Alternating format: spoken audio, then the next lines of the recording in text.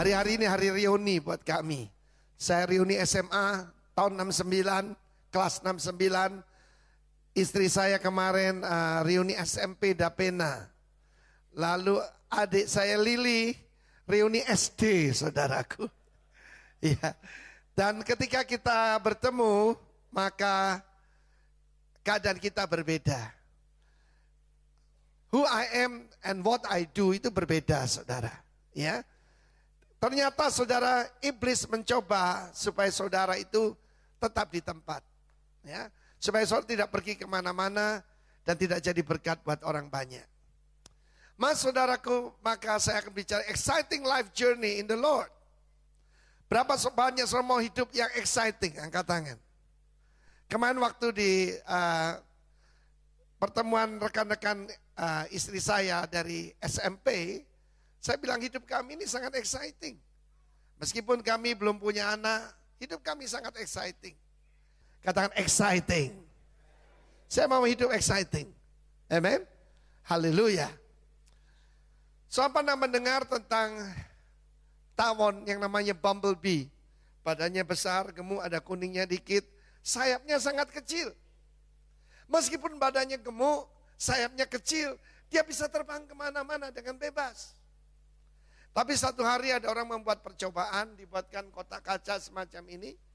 Ukurannya satu meter, satu meter, atasnya satu meter, kubus satu meter. Dan mulai kecil dia ditaruh di sana. Ketika dia mulai belajar terbang, maka dia mengalami mentok, mentok, mentok satu meter. Ke atas cuma satu meter. Ke sana cuma satu meter. Ke sana cuma satu meter. Padahal dia bisa punya kemampuan terbang tinggi. Dan ketika kotak kaca itu dilepas, guess what? Dia tidak bisa terbang lebih dari satu meter.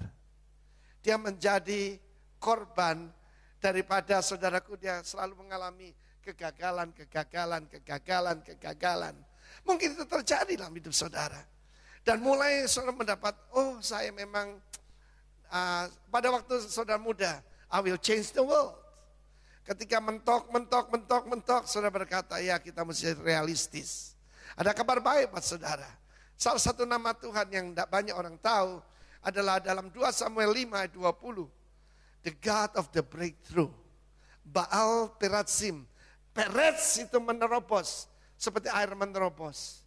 Saudara tahu kota New Orleans tergenang habis-habisan gara-gara itu tanggulnya itu bocor sedikit saudara. Keluar air sedikit. Ketika keluar air sedikit jebol saudara tanggulnya dan kota itu terendam. Sifat Tuhan seperti itu. Kuasa roh kudus dan saya percaya umatnya juga adalah umat yang menerobos. Amin. Saudara yang kasih Tuhan, saya akan mengajak kita ingat sama dengan Tuhan Yesus dalam Yohanes 14 ayat 12 sampai 14. Pekerja, barang siapa percaya kepadaku. Kuncinya percaya. Percaya itu bukan cuma diselamatkan dari hukuman akan datang. Tetapi percaya itu membuat kita masuki satu hidup yang exciting. I tell you the truth. Anyone, katakan anyone. Jadi termasuk Anda dan saya who believes in me will do the same works. Terjemahan lain berkata, the same miracle that I've done and even greater works because I'm going to be with the Father. Kita baru saja merayakan kenaikan Tuhan Yesus ke sorga.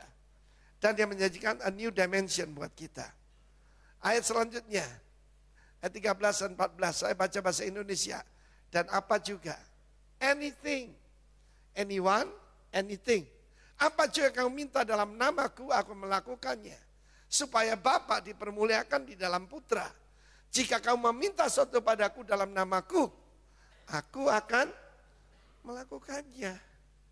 Saudara doa itu bukan cuma petisi, doa itu juga saudaraku adalah kingdom connection. Amen. Mari kita melihat seseorang yang melakukan hal yang besar. Padahal dia orang sederhana. Kita melihat dalam Ibrani pasal 11 dimulai dengan ayat yang ke-6. Ibrani 11 ayat yang ke-6. Saya bisa ikuti itu? Tetapi tanpa iman tidak mungkin. Tidak mungkin orang berkenan kepada Allah. Sebab barang siapa berpaling kepada Allah, ia harus percaya bahwa Allah ada. Sedikit salah terjemahan. That God exists dalam terjemahan King James Version. That He is. Dia adalah. Ya, kalau saya terjemahkan di sini bahwa Allah adalah. Dan bahwa Allah memberikan upah, katakan upah, pada orang yang sungguh-sungguh mencari dia. Bukan yang asal-asal. Jadi itu begini, kalau saudara sakit, dokter mengatakan tidak mungkin sembuh, Saudara percaya bahwa Yesus adalah dokter. Kenapa kita tidak bisa percaya kepada Tuhan yang sudah terbukti? Yang bona fide, bona fide, bona fide. Yang terkenal tidak bisa berdusta, tidak bisa gagal. Saudara berani menyerahkan diri, ada yang kepalanya digergaji. Oleh dokter yang dia tidak kenal. Cuma dari kata orang. Tapi kita bisa berkata seperti Rasul Paulus, I know whom I believe.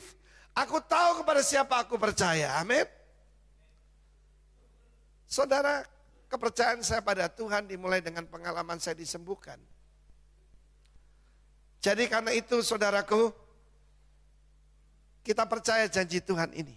You will have an exciting life. Anything, anyone. Tuhan menjanjikan. Mari kita lihat Ibrani pasal 11 ayat-ayat selanjutnya saudara ayat 8 ya. Karena iman Abraham apa? Taat. Ketika dipanggil untuk berangkat ke negeri yang diterimanya menjadi milik pusakanya. Lalu ia berangkat dengan tidak mengetahui tempat yang ia tujui. Karena iman ia diam di tanah yang dijanjikan itu seolah-olah di suatu tanah asing. Dan situ ia tinggal di kemah dengan Ishak dan Yakub yang turut menjadi ahli waris janji yang satu itu.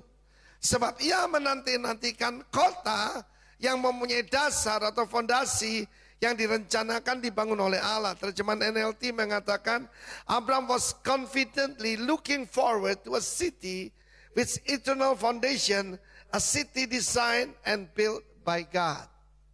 Mari kita kembali kepada kota tadi. Ada empat garis yang harus saudara terobos untuk mendapatkan hidup yang exciting. Ditambah satu lagi yang atasnya itu. Saudara menerobos itu. Karena Tuhan memberikan pada saudara kemampuan yang dia janjikan. Amin. Saya sering melihat ada orang itu berdoa kelihatannya rendah hati padahal rendah diri saudara. Saudara rendah hati dengan rendah diri berbeda? Ya Tuhan, Pakailah aku sebagai lilin yang kecil. Untuk di kamar kecil. Tempat orang buang air kecil. Dan anak-anak kecil. Itu rendah diri saudara. Kalau kita mengucapkan iman itu bukan sombong saudara. Ada empat garis. Ditambah yang kelima. Garis pertama yang harus terobos adalah ketakutan akan sesuatu yang sudah tidak ketahui. Orang yang tidak pernah melangkah keluar dari garis itu, ya dia akan tetap di kampung yang sama. Setiap daripada kita harus berani menerobos. Oh saya takut naik pesawat, naik pesawat saudara. Saya tidak pernah naik kereta api, selalu ada yang pertama. Tadi sebelum saya ke sini saya tanya kekasih saya. Sayang, mau liburan ke mana? Dia bilang Jepang lagi, ah sudah dua kali. Dan dia berkata New Zealand, kita belum pernah pergi. Karena kita kan jalurnya pelayanan. Saya bilang oke, okay. lakukan sesuatu yang saya belum pernah lakukan sebelumnya. Dia dipanggil keluar dari satu negeri, di mana saudaraku dibawa ke satu tempat yang tidak tahu. Unknown. Unknown bagi banyak orang, itu menakutkan. Tapi bagi para penerobos itu menggairahkan. Amin. Nah saudaraku Abraham itu pergi ke satu negeri yang belum dia tahu. Lihat baik-baik. Ketika dia sampai ke tanah perjanjian. Apa dia sudah settle di situ? Firman Allah mengatakan dia tidak tinggal di sana. Tetapi tinggal di kemah bersama dengan Ishak dan Yakub. Karena dia menanti-nantikan lebih ke depan lagi, yaitu suatu kota yang dibangun oleh Tuhan. Waktu itu belum ada kitab wahyu kan. Tapi dengan iman, dia tahu ada sebuah kota yang disediakan oleh Tuhan. New Jerusalem. Dibangun oleh Tuhan nanti diturunkan ke bumi. Panjangnya 2000 km kurang lebih. Lebarnya 2000 km. Tingginya 2000 km. Bahannya bukan batako. Bahannya adalah emas kristal. Bisa bayangkan 2000 km, dua kali pulau Jawa. Itu nanti kota di mana kita tinggal. Super hyper apartment. Ya, Nah saya perhatikan di sini kebanyakan orang salah. Mereka meninggalkan negeri perbudakan. Mereka meninggalkan daerah kegelapan. Mereka sampai ke tanah perjanjian. Dan mereka berkata, kami sudah sampai. Tidak saudara. Yaitu pergi ke satu negeri. Saudara, dengar baik-baik. New Jerusalem bukan surga. New Jerusalem itu adalah kota yang dibangun oleh Tuhan sendiri Nanti di bumi yang baru dan langit yang baru. Kita adalah manusia masa depan. Banyak orang berhenti di sini. Saudara, apa tanda mereka berdiri di sini? Mereka tidak tinggal di kemah. Mereka tinggal di istana. Kemah adalah satu gaya hidup sementara. Saya seorang frequent traveler. Saya terbang hampir 80-90 kali satu tahun. Setiap empat hari saya terbang, saudara. Ya. Dan tentu saja maka kita misalnya kita saya tinggal kebanyakan di Denpasar. Di Jakarta semuanya serba minim. Pakaian sedikit. Ya, sepatu pun coklat tidak punya, cuma hitam aja saudaraku. Ya. Semuanya serba sedikit. Kenapa? Tinggal di kemah. Tinggal sementara. Kalau ada orang hidupnya cuma sampai di sini, we can tell. Kayak hidupnya bukan kayak hidup di kemah, saudara. Nah saudara yang kasih Tuhan ada empat garis yang terobos. Kita harus berani menghadapi di unknown. Banyak teman-teman saya itu takut apa? Takut usia tua. Setelah takut usia tua, takut saudaraku kehilangan grip. Takut apalagi post power syndrome. Sehingga berbuat yang aneh-aneh, yang bodoh-bodoh saudaraku. Padahal saya harus melihat ke depan, ada sebuah kota yang didasarkan eternal foundation didesain, dibangun oleh Allah sendiri. Amin. Bumi ini bukan rumah kita, saudara. Kita akan tinggal di bumi, tetapi yang uh, hidup kita yang cuma 70-80 tahun ini, itu terlalu sedikit dibandingkan kekekalan.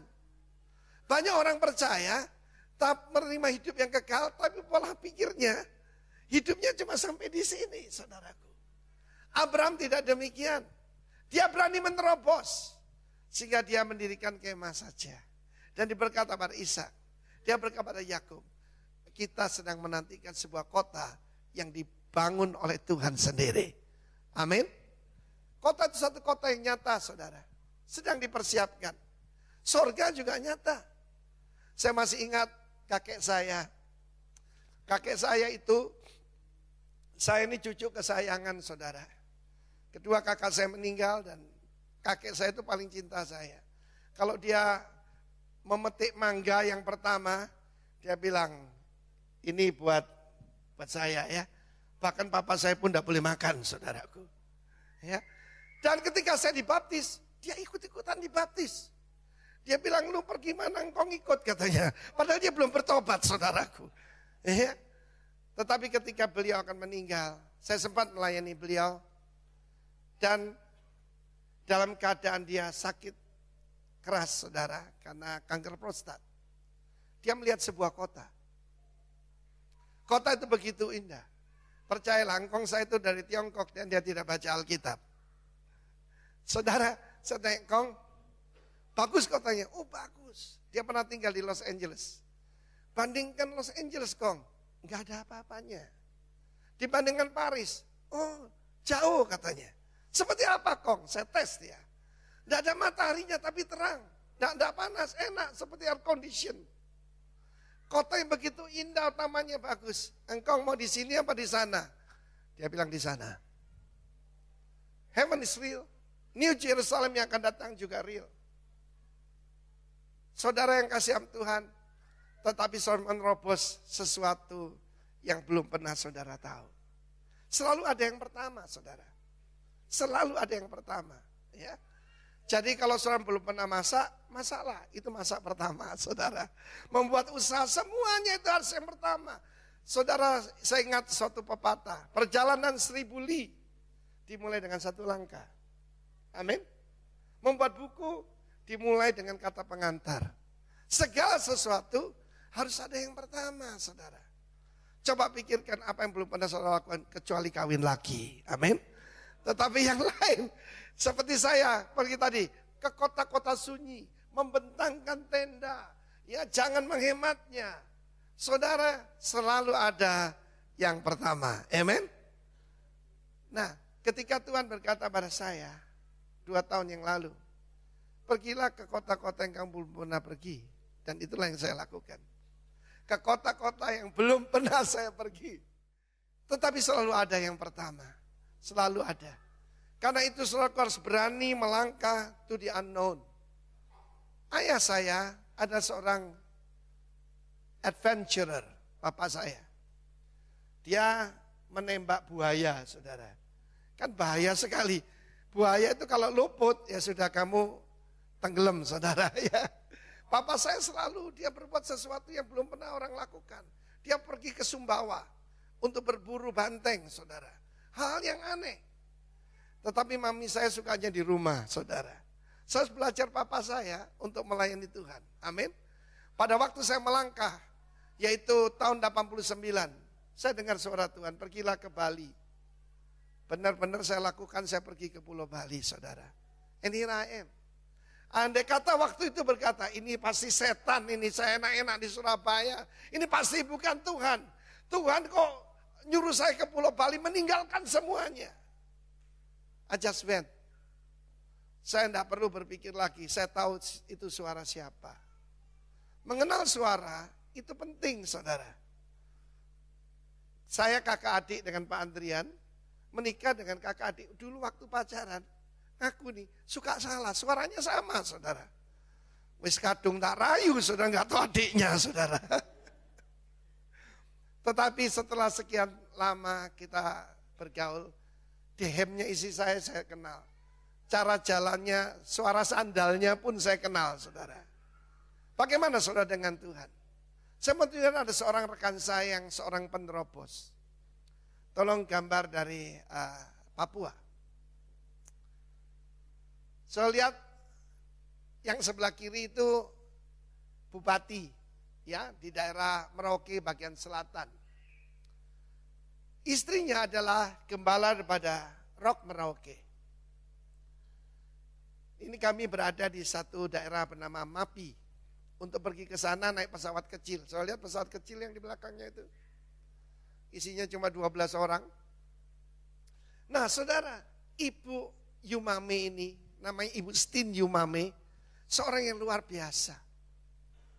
Di daerah itu ada suatu suku yang masih tinggal di pohon. Tinggal di atas pertama untuk menghindari binatang buas. Kedua menghindari malaria. Dan ketiga saudaraku, yaitu untuk berperang kalau dari atas kan memanahnya lebih gampang. Tetapi mereka masih kanibal. Dan tinggal di atas pohon, ada yang sampai 30 meter, ada yang lebih. Yang paling rendah itu sekitar 12 meter. Nah kalau jatuh ya selesai saudara. Dan mereka tidak pernah bercocok tanam. Kenapa? Tanahnya asam. Ditanam apa mati saudara. Dan ibu ini pergi sendirian ke sana. Karena dia istri bupati, tentara datang, polisi mau dikawal. Dia bilang jangan. Saya datang sebagai seorang ibu. Dia datang kepada suku itu. Bergaul dengan mereka. Memperkenalkan Tuhan Yesus. Dan mengajar bercocok tanam. Pada waktu dia kumpulkan mereka yang sudah percaya. Dan berdoa mematahkan kutuk di atas tanah itu. Saudara mau lihat transformasi, nggak usah jauh-jauh. Pergi ke sini saudara. Kacang panjang, benar-benar panjang tumbuh satu meter saudara. Ya, dia berani melakukan yang orang lain Dia cerita, polisi dan tentara aja takut ke situ. Itu orang-orang ganas. Tapi saya bilang ibu, karena ibu kurus jadi nggak dimakan kali. Tapi kalau suami ibu kira-kira bahaya. Tetapi saudara ibu ini seorang penerobos. Apakah saudara seorang penerobos? Ketika sperma dari ayah kita diluncurkan, itu 100 sampai 800 juta jumlahnya. Cuma satu yang mencapai sasaran. Dan satu itu bibit unggul, saudara. Dan satu itu membuat kita berbeda dengan yang lain kan. Yang kembar aja, saudaraku, tidak sama. Saya punya ipar saudara kembar, ya. Aneh saudaraku, yang satunya pincang, satunya pincang juga saudara. Ya, satunya mobilnya ditabrak, sama-sama ditabrak saudara. Tetapi tetap mereka berbeda. Temperamen berbeda, sifat berbeda. Setiap daripada kita kalau ingin menghadapi hidup yang exciting, harus berani menerobos. Memulai satu pekerjaan yang baru. Saya pergi ke kota yang lain. Saudara waktu pindah istri saya stres saudaraku. Karena istri saya ini betul-betul orang rumah saudara. Dan dia tidak pernah keluar dari kota Surabaya. Saya juga tidak pernah. Tapi tidak punya sifat avantur istri saya ini. Kita terbiasa dengan rute kita. Kita terbiasa dengan kebiasaan kita. Seajak kita menerobos kita melihat selalu ada yang pertama. Satu hari ketika Kaisar Napoleon memimpin tentaranya. Harus melewati pegunungan Alpen, saudara. Lalu pada satu Kaisar membuat suatu perintah. Terobos ke atas. Kita lewati pegunungan ini. Jenderalnya berkata begini. Tidak mungkin Kaisar. Belum pernah ada yang melakukannya. Dia berkata berarti kita yang pertama. Dan coret perkataan tidak mungkin dari kamus Perancis katanya saudaraku. Itu orang tanpa Tuhan saja berani berkata begitu. Jadi mulai hari ini jangan berkata saya belum pernah melakukannya. Lakukan yang pertama. Amin. Haleluya saudaraku. Ya. Uh, belum pernah ada orang yang kebaktian gerejanya itu di stadion di Bali kita lakukan saudara. Mereka berkata begini, Pak, belum pernah Pak ada orang Natalan di uh, stadion, stadion utama kita. Lagi yang musim hujan, bagaimana kalau hujan? Tidak apa-apa saya bilang kalau hujan ya dancing in the rain. Dan kita menikmatinya saudaraku. Saudara, kita melihat bagaimana orang itu selalu dibatasi dengan garis. Seperti anak burung Raja Wali, mereka kan tinggal di tebing yang ratusan meter tingginya. Dan burung Raja Wali bersarang di sana. Setiap hari ketika baru menetas, maka anak burung Raja Wali dikasih makan, ditulang saudara. Siap, kasih makanan. Ketika saudara baru bertobat, belum berdoa sudah dijawab, ya kan? Tetapi akan tiba satu masa, ketika mendadak induk Raja Wali tidak bawa makanan, bawa duri saudara. Dikasih duri di sarang itu. Jadi saya tidak enak kan, tidak nyaman. Lalu mulai digoyang. Mulai didorong anaknya dari tebing. Mami jahat. Berapa banyak saya pernah berkata begitu, Tuhan jahat. Apa yang mereka lakukan? Terpaksa mereka mengepakkan sayapnya. Lalu ternyata mereka bisa terbang.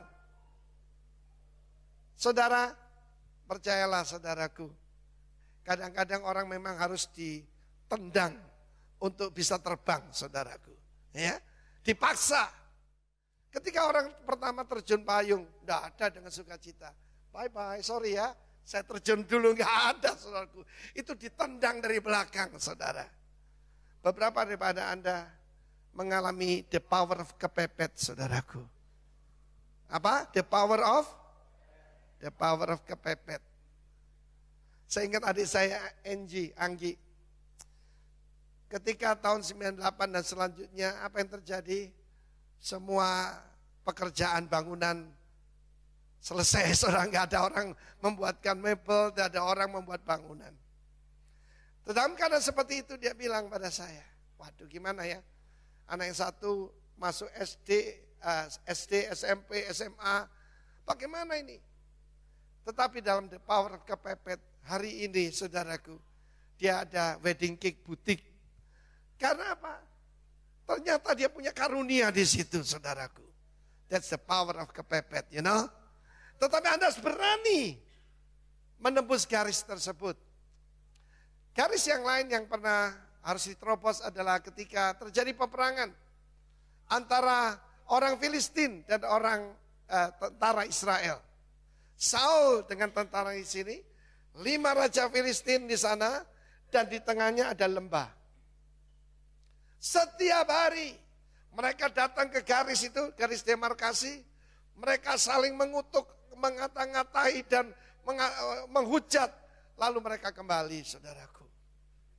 Tetapi selama 40 hari bangsa Israel cuma diam ketakutan. Mereka diam aja dimaki-maki oleh Goliat. Bahkan memaki-maki Tuhan mereka. Waduh, sampai datanglah David. David datang dan dia tanya, siapa orang Filistin yang tidak bersunat itu? Memang tingginya cuma 3 meter.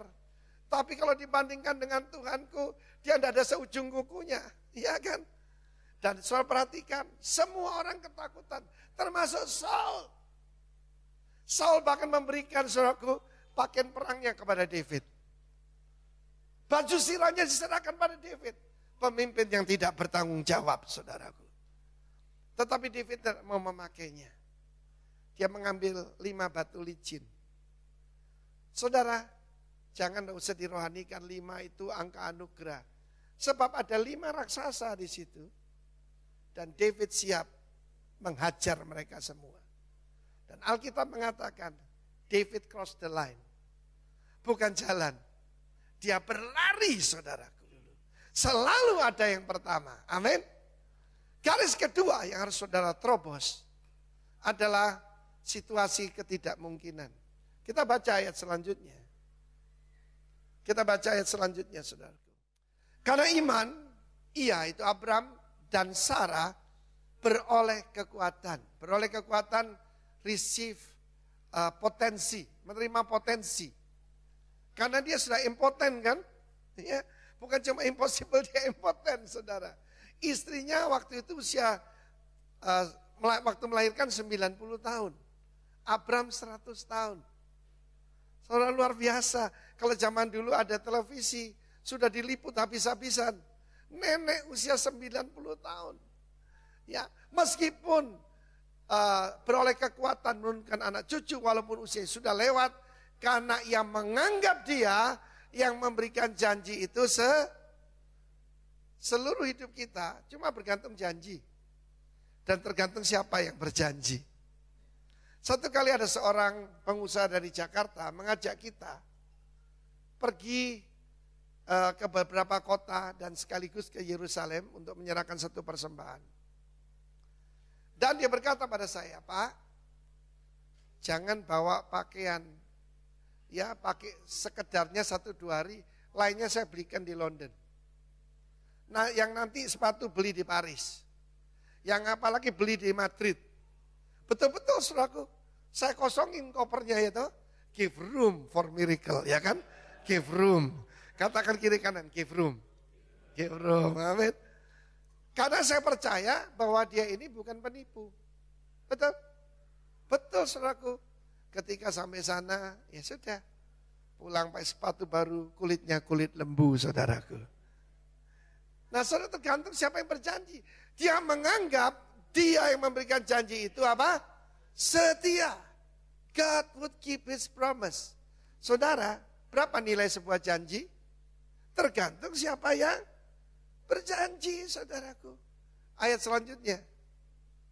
Itulah sebabnya maka dari satu orang, malah orang yang telah mati pucuk, was as good as dead, impotent, terpancar keturunan besar, seperti bintang di langit, dan seperti pasir tepi laut yang tidak terhitung banyaknya. Jadi kedua adalah situasi tidak mungkin. Saudara pasti pernah melihat Nick Fujifik. Ya kan? Suatu situasi yang tidak mungkin. Saya tidak tahu apa situasi yang tidak mungkin buat saudara. Menyelesaikan hutang saudara. Hutang itu, uang itu masalah paling kecil saudara. Ya. masalah-masalah yang lain, masalah keluarga. Apa pun yang tidak mungkin. Di dalam kerajaan sorga, bacanya I am possible. Impoten kita baca I am potent. Aku punya potensi. Oke? Okay? Impossible bacanya I am possible. Di dalam Tuhan kita ingat janji Yesus. Pekerjaan yang aku lakukan akan kamu lakukan juga bahkan yang bahkan yang lebih besar. Sebab apa? Aku pergi pada Bapa. Dan apa saja yang kamu minta dalam namaku, aku akan melakukannya. Supaya nama Bapa dipermuliakan dalam nama Sang Putra. Apa saja, siapa saja.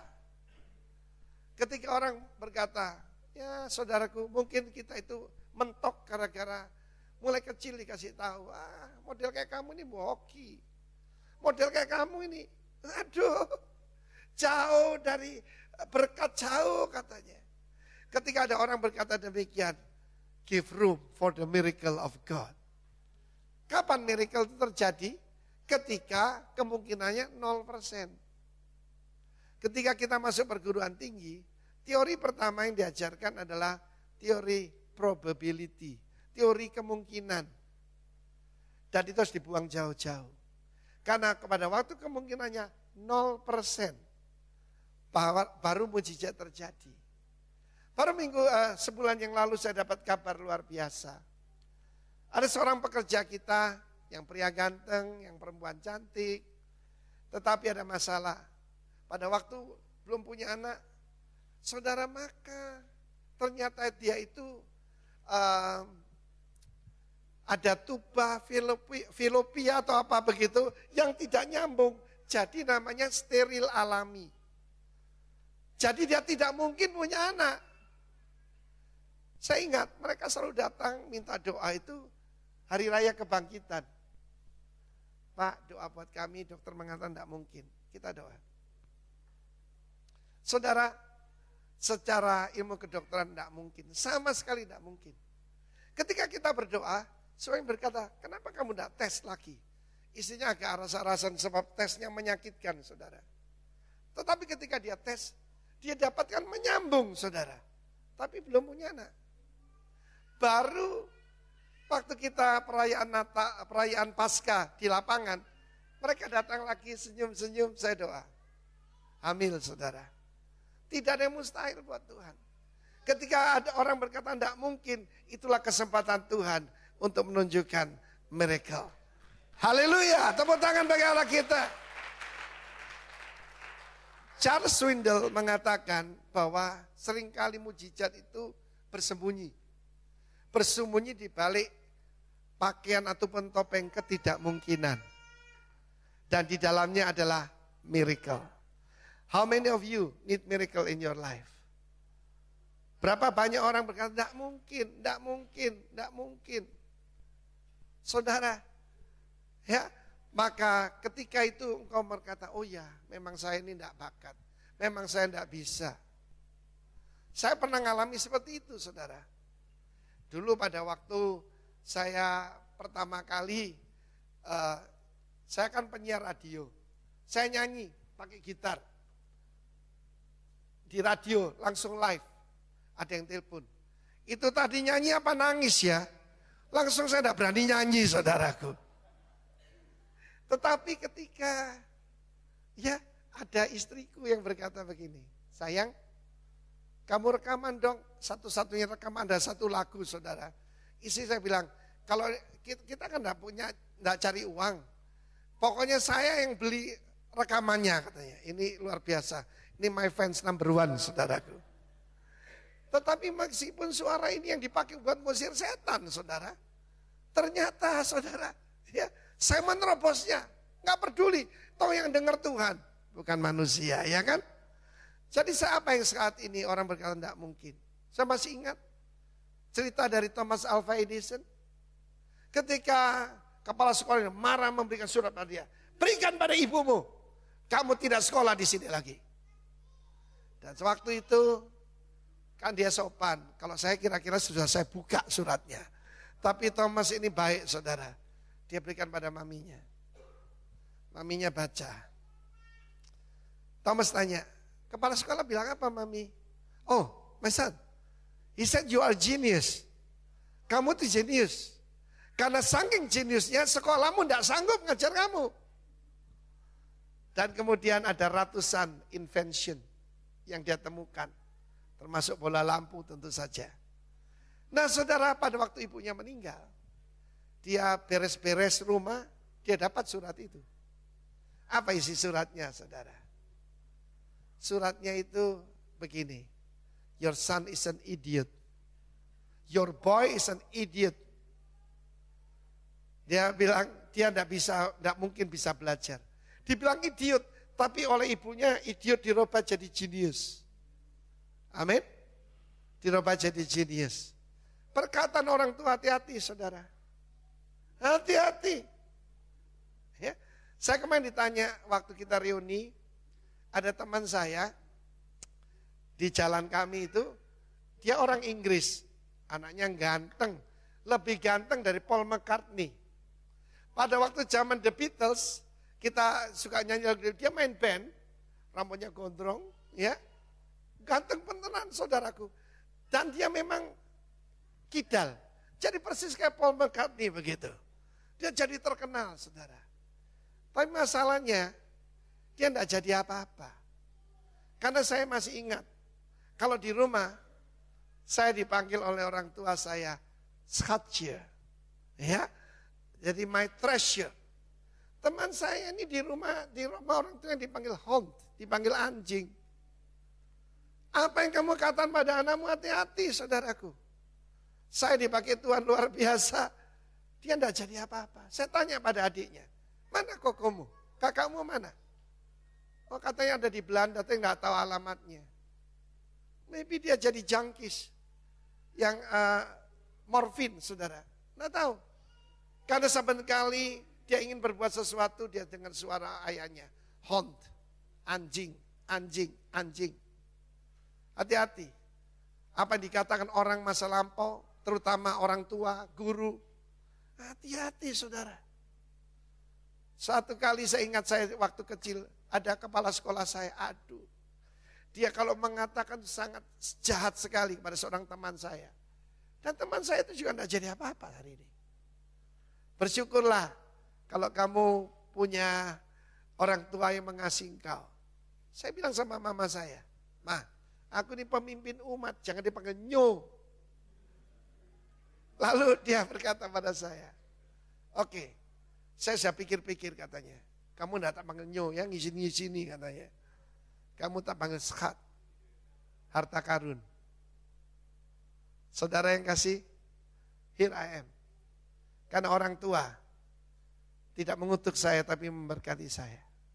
Kedua orang tua saya ini, kalau kami pergi ke mana pun mereka mengucapkan berkat. Berkat Tuhan yang menjadikan kaya dan berhasil. Susah dan payah tidak ditambahkan. Amin. Jadi yang harus diterobos kedua adalah ketidakmungkinan. Coba saudara latihan tendang. Ya. Amin. Terobos. Yang ketiga, ayat selanjutnya kita akan baca. Dalam iman, mereka semua, pahlawan-pahlawan iman ini yang disebut elders, dalam Ibrani 11 ayat 2, telah mati sebagai orang-orang yang tidak memperoleh apa yang dijanjikan itu. Tetapi hanya dari jauh melihatnya dan melambai-lambai kepadanya dan yang mengakui mereka adalah orang asing dan pendatang di bumi ini. Ayat selanjutnya. Sebab mereka berkata demikian mengatakan bahwa mereka dengan rindu mencari suatu tanah air. Dan kalau sekiranya itu mereka ingat tanah asal yang telah mereka tinggalkan, mereka cukup mempunyai kesempatan untuk pulang ke situ. Ada dua garis lagi yang harus saudara terobos. Pertama, ada saudara punya iman yang tidak tergoncangkan. Saya katakan juga iman yang beyond, yang melampaui. Saya melihat ke depan. Iman itu bisa menerobos sampai kekekalan. Dan dari jauh akan melambai-lambai. Mungkin kita tidak bisa, saya tidak tahu, saya minta umur panjang oleh Tuhan. Supaya bisa melihat kenyataan seribu plus plus plus. Tetapi kalaupun tidak terjadi, saya percaya itu akan terjadi. Kita sebagai orang beriman, itu berbicara begini. berbicara akhir dari awalnya. Amin. Bicara akhir dari awalnya. Beberapa saudara sedang menghadapi your loved ones, sakit, ataupun keadaanmu hancur. Jangan lihat apa yang kamu lihat, tapi lihat pakai mata iman. Amin. Lihat pakai mata iman. Yang mengerti tepuk tangan bagi Allah kita. Iman yang tidak tergoncangkan. Dan satu lagi, iman yang tidak mau kembali. Engkau sudah berada di sini, menantikan kota yang dibangun oleh Tuhan, dan jangan mau kembali. Orang Israel berkata begini, betapa enaknya ada di Mesir, padahal rumah perbudakan suraku. Di sana kami bisa mati tapi kenyang. Kami masih bisa makan semangka, bisa makan bawang ini, bawang itu. Bisa makan daging. Berapa banyak orang? Ya, saudaraku ingin kembali. Pak, kalau susah begini Pak, saya ikut kepercayaan yang lama saja. Bisa mundur? Tetapi hancurkan Vesneleng mundur saudara. Vesneleng mundur saya sudah hancur, bisanya cuma maju dan naik. Lima tahun ketika saya di Bali pertama kali, I don't see any growth. Tidak ada pertumbuhan sama sekali, saudara. Belas, belaso. Saya masuk dari rumah ke rumah, dan iblis mengejek saya. Dan ada pikiran, bukan dari saya, pikiran ditaruh iblis. Kembali Surabaya. Sudah kembali Surabaya saja. Tidak saudara saya mau menerobosnya. Amin. Sebab Allah kita adalah Allah penerobos. I don't know your situation. Dan yang terakhir saudara, yang paling akhir. Ada yang kelima, belum ada di sini. Yaitu ujian iman. Kita lanjutkan pembacaan ayatnya. Yaitu pada waktu Abraham disuruh yaitu mempersembahkan Ishak. Ayat 17. Karena iman maka Abraham tatkala ia dicobai dia diuji, bukan dicobai diuji. Mempersembahkan Ishak. Ia yang telah menerima janji itu rela mempersembahkan anaknya yang tunggal walaupun kepada telah dikatakan keturunan berasal dari Ishak yang disebut keturunanmu. Ayat 19. Saja kita baca sama-sama satu, dua, tiga. Karena ia berpikir bahwa Allah berkuasa membangkitkan orang sekalipun orang mati. Dan dari sana ia seakan-akan telah menerimanya kembali. Di situ Bukit Moria. Dia bersama dengan dua bujangnya dan Ishak membawa keledai. Ada kayu api di sana. Dan ditanya, Tuhan ke mana Tuhan pergi? Oh kami pergi untuk menyembah Tuhan. We are going to worship dan dari sana kami akan kembali. Padahal di dalam jubah Abraham ada pisau untuk menyembeli anaknya. Saudaraku, ada batas. Mungkin berupa batas, batas keuangan. Batas keuangan saudara, ya model kayak saya ini ya paling jadi pegawai lah. Ya cukup lah. Gaji 5-10 juta, pokoknya dapur ngebul. Ya, mungkin ada orang berpikir seperti itu. Tetapi saudara, bagaimana kita bisa menerobos? Di dalam kita memberikan persembahan yang belum pernah kita lakukan. Tapi ukurannya memang bukan jumlah, ukurannya itu persentase. Di dalam perjanjian baru kita tahu ada orang kaya memberi jumlah besar. Ketika masukkan kotak persembahan, ya bunyinya apa? Bunyinya gimana saudaraku? Belum gitu ya. Tapi ternyata di komputer surga bunyinya kricik. Seorang janda tua miskin memberikan dua duit. Di sini kerincing, di sana kelakar. Ujian iman salah satunya adalah di dalam mengasihi Tuhan dan sesama. Kita berikan yang belum pernah kita pernah berikan. Dan itu akan menembus batas.